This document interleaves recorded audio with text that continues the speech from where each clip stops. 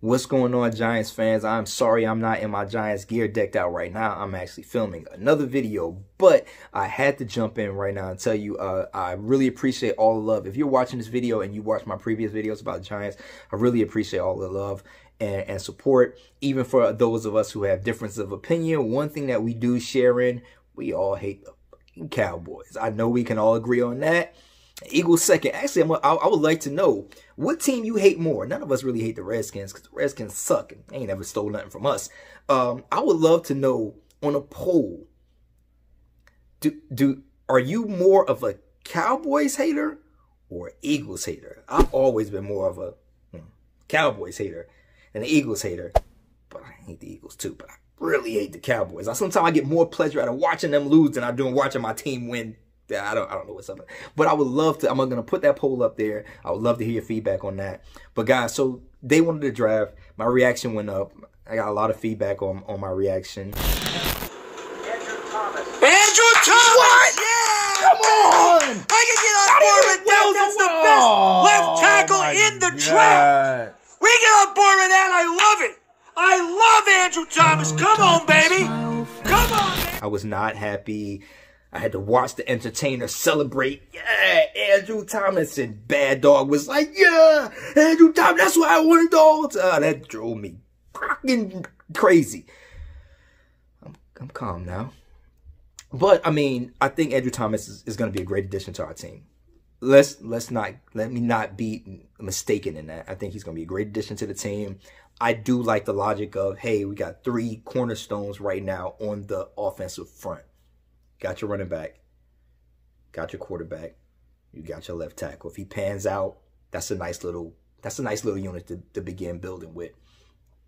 Is Darius Slayton, is he gonna be a receiver of the future that we got on a super cheap deal that we could have for another four or five years? I would love to see that as well. Uh, so now our work is not over.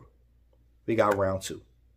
Uh, we didn't get Simmons as I liked, as I wanted, as I hoped for, but I'm coming around to the pick that we do have, but now we got to piggyback that by getting this next day right. If we get this next day right, this draft is still a win for me. So the player that I I wanted, especially when thinking back to if we were to trade back and get more assets, one of the guys that I wanted is still on the board, and that's Yetur Gross Matos. I hope I said his name right. That is my dream day two pick, still processing. Um, but first, I also want to say I want to welcome Andrew Thomas to the team. I think he's a great pick, not the pick that I wanted. Of course, I was a Simmons guy, um, but but I'm, I'm, happy for him. He's a good, solid player. I think he's gonna. The points that were made by the guys that are like, hey, now we got our, our anchor left tackle, we got our quarterback, we got our running back. Let's go. Um, I'm I'm all for that. I just wish we could have got him a little bit lower, but nobody wanted to deal. That's for a whole other video. Let's get to this one. I had already uh, recorded a video earlier, but I did get a chance to get it out before the second round started. I might include some notes, some clips at the back end of this video. It's kind of like a moot point now. I was talking about some of the prospects that I wanted. Uh, I was really high on Yetur Gross, um, Gross Matos.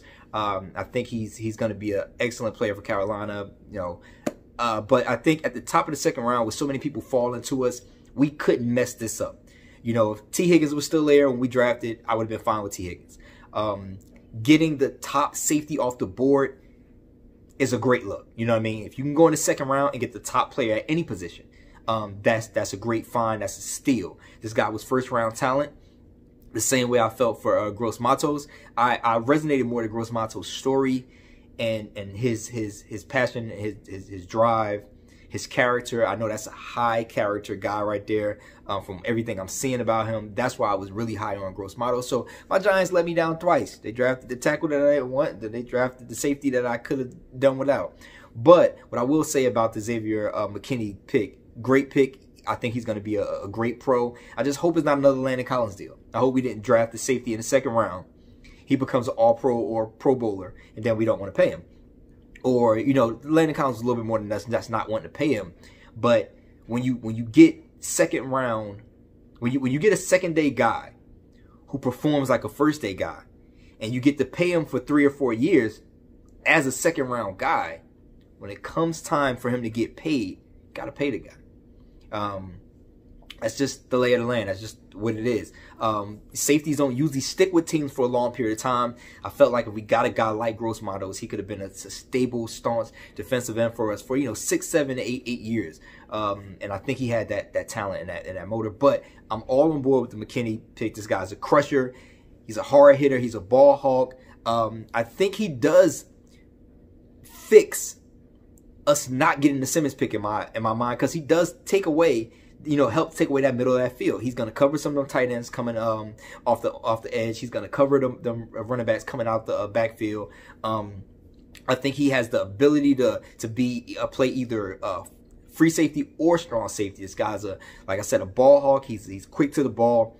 Gets in the backfield a lot. If you watch film on this guy, if you watch highlights on him, he gets in the backfield a lot. So in a sense, he plays a lot like Isaiah Simmons just in a smaller frame with a slower 40 time.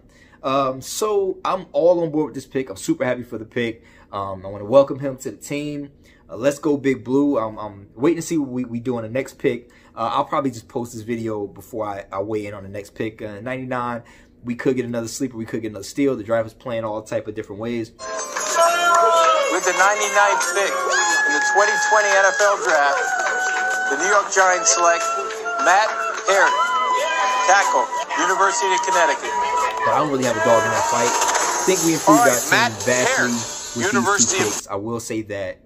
And um, I am feeling a lot better today than I was yesterday. So uh, let's go Big Blue. From the gang of Heartstorm Media, we're in, we're ready for this season. Right, guys? Yeah.